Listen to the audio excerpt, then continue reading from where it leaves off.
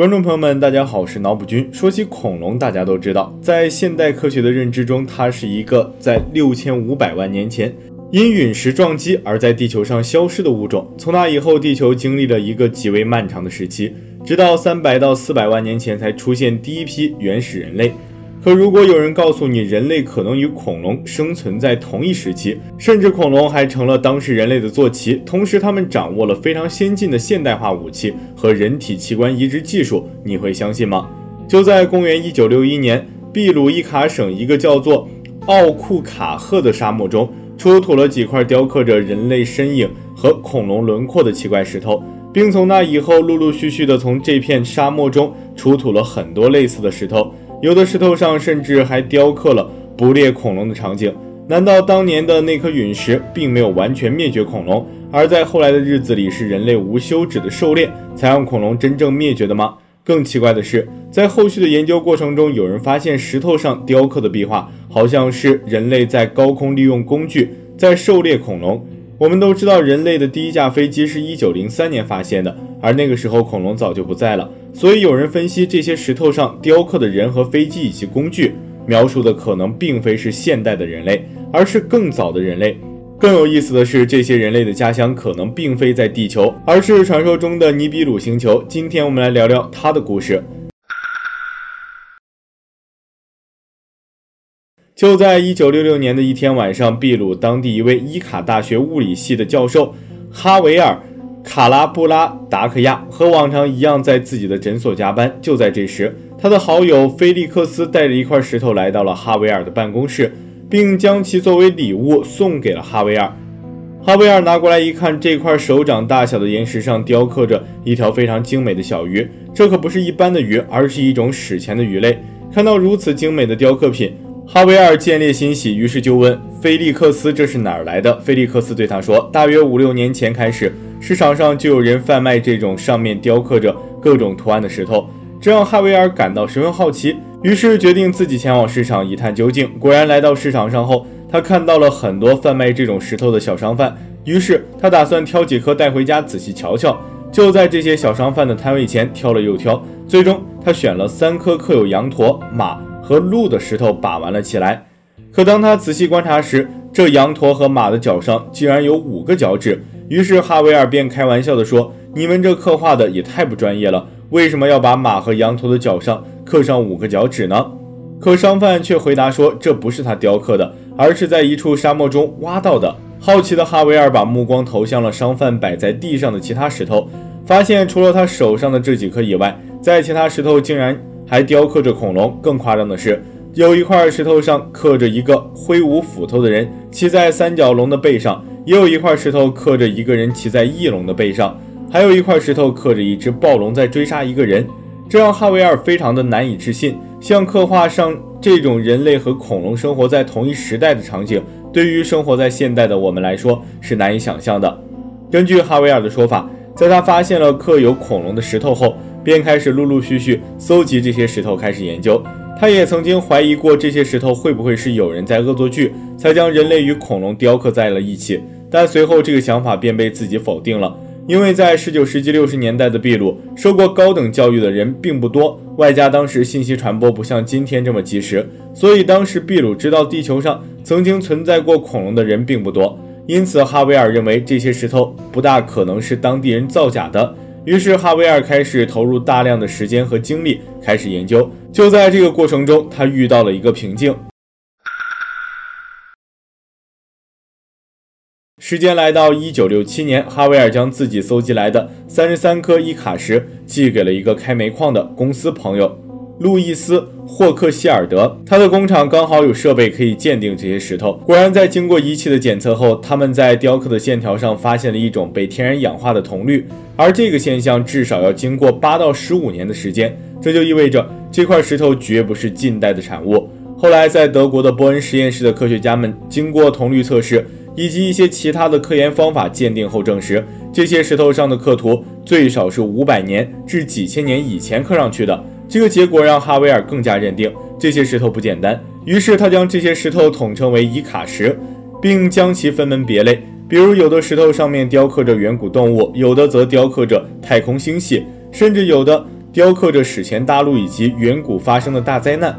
无论是哪个类别的图案，都能彰显出雕刻者对这个宇宙非比寻常的清晰认知。于是，到了一九七零年四月，哈维尔迫不及待地向当地政府申请，要对奥库卡赫沙漠进行挖掘。可不知道为什么，秘鲁政府却在同年的七月十六号拒绝了哈维尔的申请。经常看我频道的朋友应该知道，我们之前聊过，有人曾经在埃及金字塔下面发现了一座地下城的遗址，并向埃及政府提出挖掘申请。同样也是被拒绝了，但不同的是，埃及金字塔是被承认客观存在的。当时的政府是考虑到技术不成熟，害怕破坏了金字塔的构造，所以拒绝了申请。但伊卡什是一个从来没有被承认过的文物，也不存在被破坏完整性，为什么还会被秘鲁政府拒绝呢？被拒绝后的哈维尔非常失落。可就在这个时候，美国却传出了有考古队伍在中生代底层发现了一具恐龙骸骨和一颗人类盆骨的碎屑。这些证据似乎在证明，恐龙与人类可能共同在地球上生存过。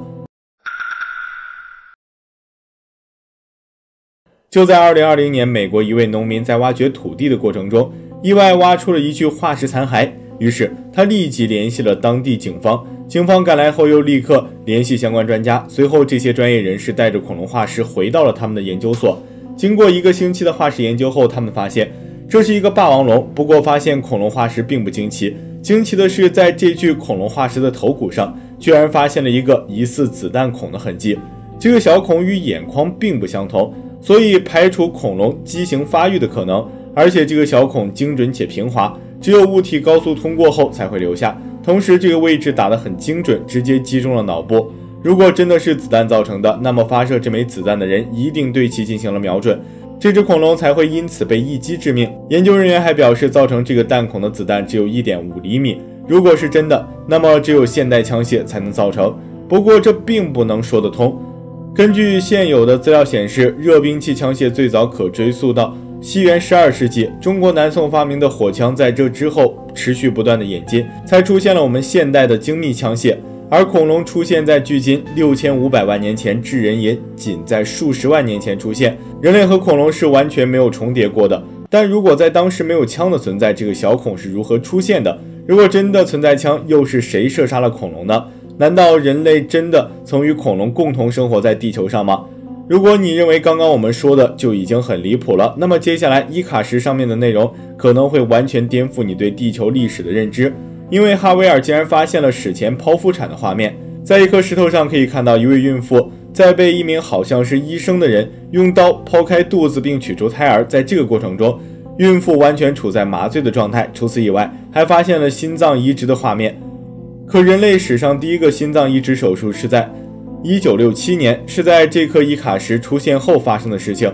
这也似乎证明了伊卡石并非伪造。更离谱的是。在一九六七年，哈维尔还发现了一颗画有开颅过程的伊卡石。在手术前，医生先用利器划开病人的头部，当头部被成功打开后，医生就会开始治疗。巧合的是，我们之前聊过的，在一九二七年曾有人在帕拉卡斯山区里发现的多具长头人骨上也有做过开颅手术的痕迹。重点是，帕拉卡斯半岛与我们今天讲的伊卡石甚至纳斯卡线条的距离都很近。而在伊卡石上，甚至可以找到与纳斯卡线条一模一样的图腾。难道伊卡石与当初射杀恐龙的人，以及纳斯卡线条的创造者，都是那批被做过开颅手术的长头人吗？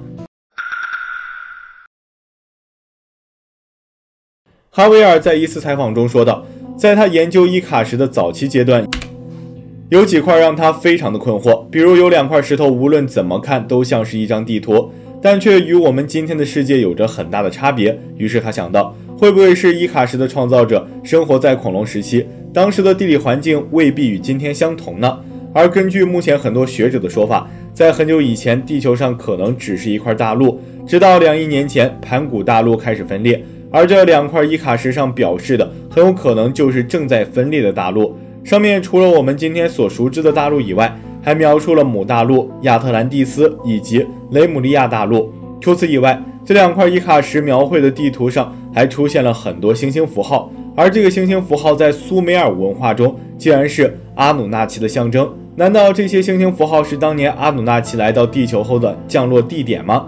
最后，哈维尔认为有一批外星人在大约四亿年前从很遥远的星球来到地球，而这些伊卡石很有可能描绘的就是他们的世界，也就是阿努纳奇所在的尼比鲁星球。他们来到地球后，为了更好的淘金，不但创造了人类，还除掉了恐龙。可就在他出版了一本名为《伊卡黑石传函》的书籍后，他在当地不但失去了人们的敬仰，甚至还成为了当地人口中的笑话，因为很多人认为这些刻石并不能完全证明。人类与恐龙共同存在过，这可能是个骗局。同时，伊卡石的小商贩后来承认，这些伊卡石的刻画是他用牙科医生的钻孔机制造出来的，同时运用石头和牛粪进行烘焙，以便给人制造出历史久远的错觉。但这也很有可能是他为了躲避秘鲁政府逮捕而说出的谎言，因为在秘鲁出售文物是犯法的。直到如今，伊卡石的刻画是否真实已经无从得知。那么对此你又是怎么看的呢？好了，今天的节目到这里就结束了。我是脑补君，我们下期再见。